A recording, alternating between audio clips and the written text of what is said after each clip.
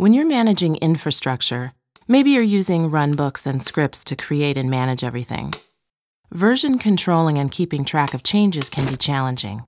Things get even harder when you need to replicate your entire production stack multiple times for development and testing purposes.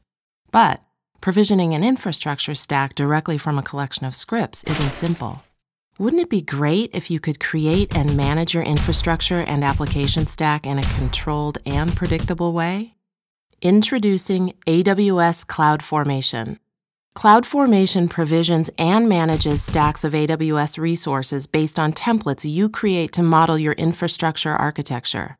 You can manage anything, from a single Amazon EC2 instance to a complex multi tier, multi region application.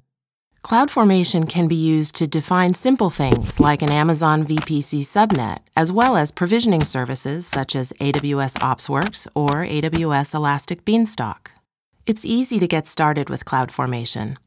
You simply create a template, which is a JSON file that serves as a blueprint to define the configuration of all the AWS resources that make up your infrastructure and application stack.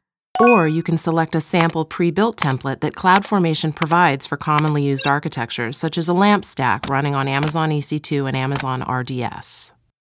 Next, you just upload your template to CloudFormation. You can also select parameters such as the number of instances or instance type if necessary. Then, CloudFormation will provision and configure your AWS resource stack.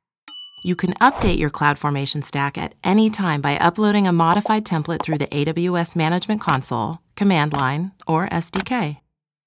You can also check your template into version control so you're able to keep track of all changes made to your infrastructure and application stack. With CloudFormation, you can version control your infrastructure architecture the same way you would with software code.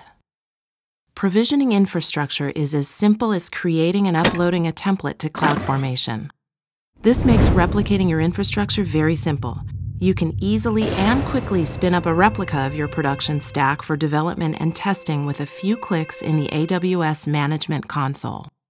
You can tear down and rebuild the replica stacks whenever you want. Replicating a production stack could have been time consuming and error prone if you did it manually.